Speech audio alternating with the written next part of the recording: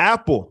Yes, Apple my baby. launches its savings account Wow. with Yes. 1.4.15% interest rate. Now, Yeah. Apple has launched its Apple Card savings account offering a 4.15% annual percentage yield APY with Mhm. no minimum deposit or balance requirements. Important. Users can set up an account through a wallet app on their iPhone. Daily cash rewards earned through the Apple card will automatically be deposited in the savings account, and the users can change the destination of their daily cash or add funds from their bank account. The bank, the account is launched through Goldman Sachs Yes. and a collaboration with Goldman Sachs and offers a higher APY compared to the average national rate of 0.35%. So the average is 0.35%.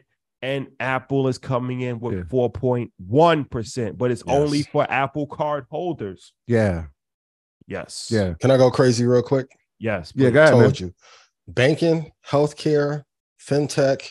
We'll talk about quantum sciences later, quantum compu- computing. There's only a few categories of business that matter. So, of course, if I was CEO of Coinbase, I would be concerned. If I was the CEO of Robinhood, kudos to Vlad, I would be concerned. 1.8 billion people have iPhones. Mm-hmm. So even if they only get a fraction, let's say 10% of people to use the product, it's 180 million people. While banks are collapsing, I said this in Stock Club earlier. You have to decide if your business thrives when there's quantitative easing and a bunch of money flowing around, which is like a hype beast type company, or if you do best in a recession. Meta, Facebook came out during a recession. Apple was launched during a recession. So was Microsoft. Now, with the trust that they built over 40 years and all the users, you don't think that they're going to take market share away from Bank of America, Wells Fargo, Citi, while teaming up with one of the best banks, Goldman. And I'll be interested to see if JP Morgan then turns around and does a partnership with someone to kind of offset this. Investing is really, I don't know how to frame it any simpler. Like in every category, you want to go see where Goldman ranks amongst the banks. They didn't do this with Wachovia back in the day for a reason, right? St- stay focused on the top two, top four in the sector, but the easiest strategy of all is two tech to index.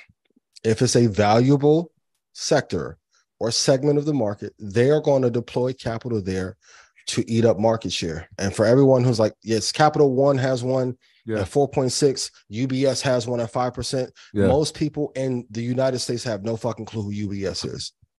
Most people are not going to go to Capital One. This is a numbers game. Let's stop making it so complicated because I want us to get rich instead of talking about getting rich, right? I actually, I actually Yeah. have I actually have a Capital One account. You do. Me too. It, it, I mean, Cut the check, Capital One. I'm looking at my notes that I What's in wrote. your wallet? Respectful. What's in your wallet? Yo, you just you nailed it, man. Right? Like there there there are uh, savings accounts that have higher yields, right?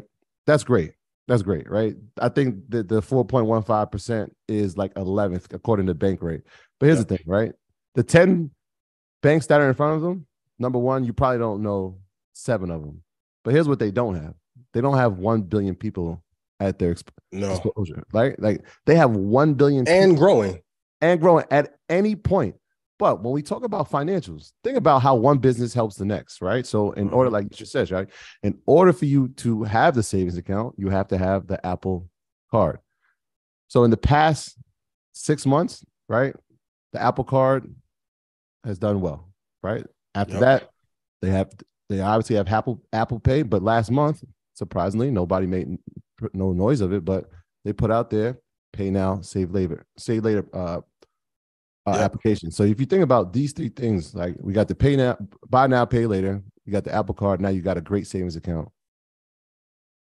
How do banks now respond? Right? If the big four are only providing you with 0.35%, how do they respond? With fear. Collaborate with, With fear, Google. right? Collaborate with Google. Colla- well, I think. Are you done? Yeah, go ahead, go ahead. So I think that um this is an interesting story on a lot of different levels. But what strike what what I saw, the first thing that I saw was the power of collaboration. It's what I always talk about all the time. Yep. And it's like this, this, the number one technology company, the number one company, in the world, but let's say tech company, right? Teams up with arguably the number one investment bank in existence. Yep. It makes sense. Um, Apple has mastered technology, but they have not mastered financial services. Goldman Sachs, Yet. well, Goldman Sachs has mastered financial services. So, what's the easy way to fast track your way into financial services?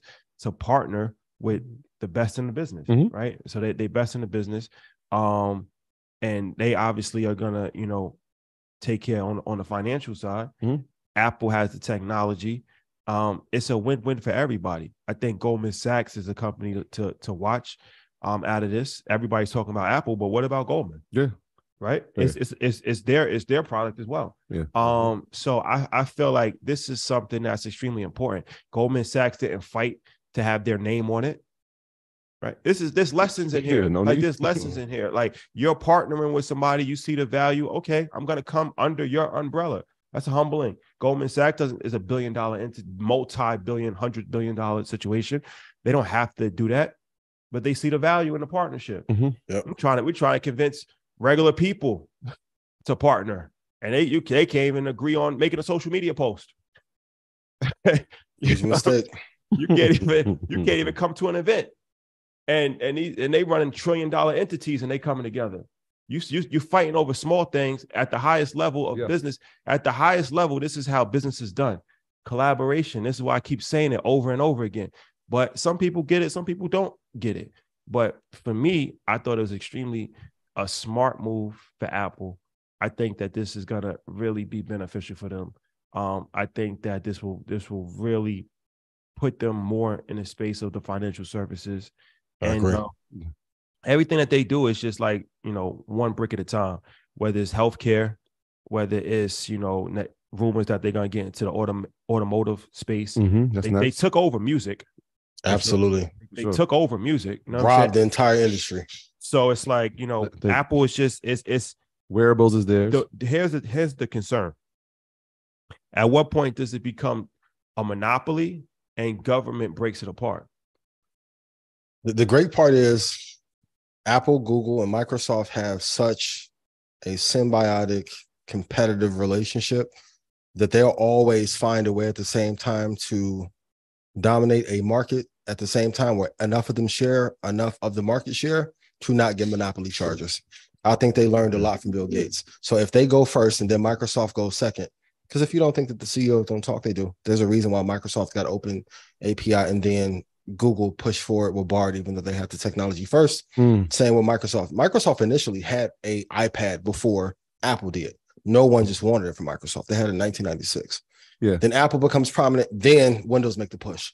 So I think they're going to team up enough to make sure they have enough market share where they can dominate, but they'll share with each other so no one can get uh that, that monopoly thing pushed against them. And I truly believe at one point Apple will be the number one technology company while being the number one healthcare company and while being the number one financial services company in the world.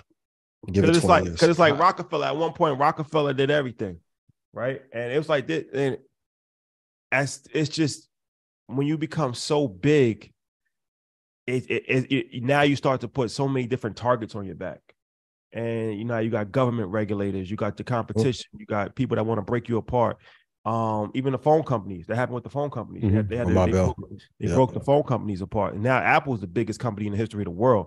So if they, if they if they try to break Apple, that's going to be hard. But it's just it's gonna be tough. I'm And the just- consumers want it. It I'm wasn't just- the That- same that- that- tactics. yeah, the brand recognition is so strong that can you do too many things at one time? if you do they, well, they found a way to do the right things well. right.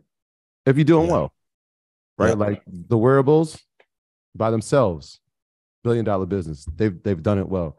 Yep. They moved into healthcare. It's still it. I mean, it's kind of premature right now, right? They have the Apple Watch. They haven't really released what they're doing with the information yet, but I'm sure there's a plan in place. When, Absolutely. get, when they get into the EV space, is the brand recognition will allow it to have errors, but also allow it to grow exponentially as well, which is interesting. Like most businesses don't have that, where you can Yeah. have errors and grow at the same time because people just trust the brand so much. That's why when you look at it, people if they know that they can just have an Apple card, number one, mm-hmm. it's like yo, you're part of a society. Like when I apply, this is this is crazy. Like when you apply for it, they're yep. not just taking anybody. Yes, your credit score got to be a 730 just to have the Apple card. So you can't even get the same savings account. So you're thinking about they're getting accredited people with high scores, right? And usually when people have high scores, that means they're financially responsible. And so you, those are the type of people that you want. And they refer better people at exactly. higher scale. And this it's is well played. Too, like, it's well played. if you break them up, let's say if you broke off the App Store, app, the App Store is still going to get 30% of every business in the App Store. And if we collapse Apple, it would collapse the entire stock market. Apple and Microsoft is really the only thing keeping the stock market afloat right now. Two players is keeping everyone afloat. So you're in a damned if you do, damned if you don't situation. Break up the company into smaller pieces, and they'll dominate the top 15 or keep it together, and they keep the stock market afloat. Well, wow, stock, we have speaking, the issue with BRICS.